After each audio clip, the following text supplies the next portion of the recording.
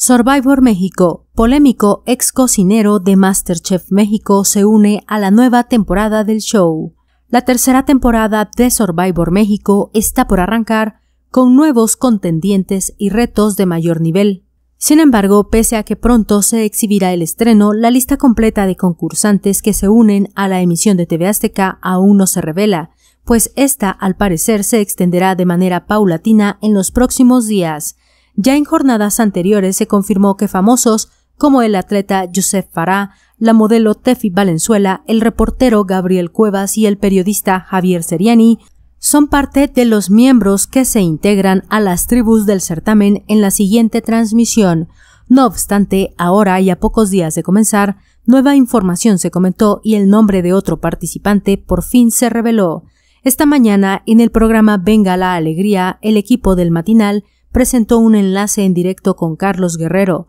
conductor de Survivor México, que ya está en República Dominicana y agregó más detalles de la esperada liberación del concurso, así como del polémico elemento que se añade a la contienda después de su intervención en Masterchef México. Dicho presentador resaltó en el espacio que la exitosa campaña del show contempla la ejecución de contendientes que laboran en diferentes sectores, tales como los ya mencionados, pero además subrayó que Rogelio Torres estará en la batalla. También tendremos muchos sobrevivientes que son como la gente que está en casa, y uno de ellos se los voy a revelar de una vez. Viene un enfermero a Survivor y además es chef, es Rogelio Torres, detalló el conductor. Después de externar el nombre, el conductor de Survivor recalcó que el experto en cocina sería un excelente integrante de los grupos del reality debido a su talento en la preparación de alimentos, así como sus amplios conocimientos en temas de salud,